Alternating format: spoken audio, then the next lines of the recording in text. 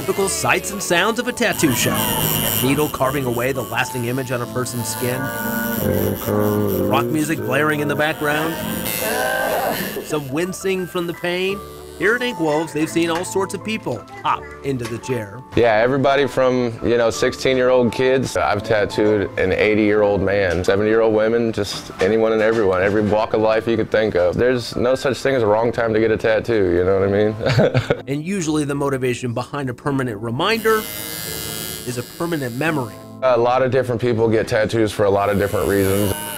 Sometimes the tattoo can help people get through a tough time in life, you know what I mean, and put it behind them. And if there was ever a tattoo moment for Seth, it came towards the end of last year. I lost my mom in October to breast cancer. It, it sucks. That's why I say cancer is a cancer. You know what I mean? It, it's, it's, it's horrible.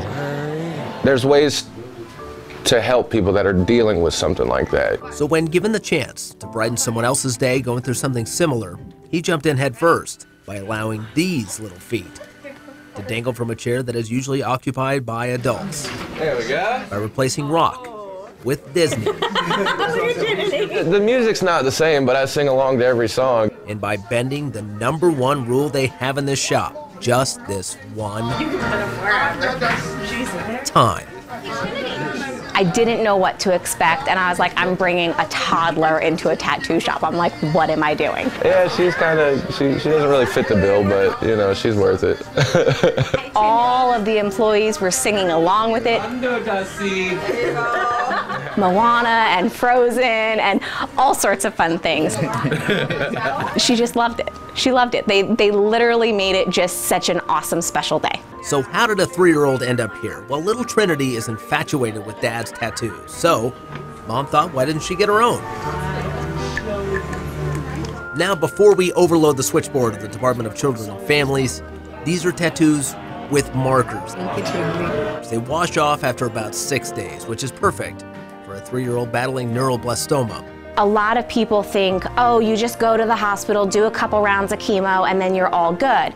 Or they see that Trinity's hair is growing back and they're like, oh, she must have beat cancer. And that's not the case. She still has cancer in her body, an inoperable tumor.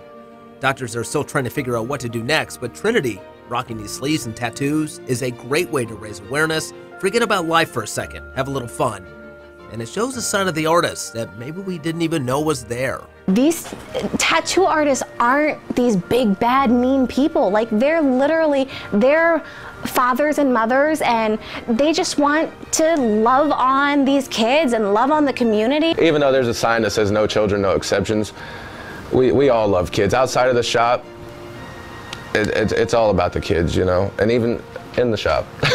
I can't take cancer away from her. I can't do the chemo instead. I can't do any of the treatments or the injections, but I can try to make sure that she has an awesome day as often as possible. Baba. Being able to come here, her smile said it all.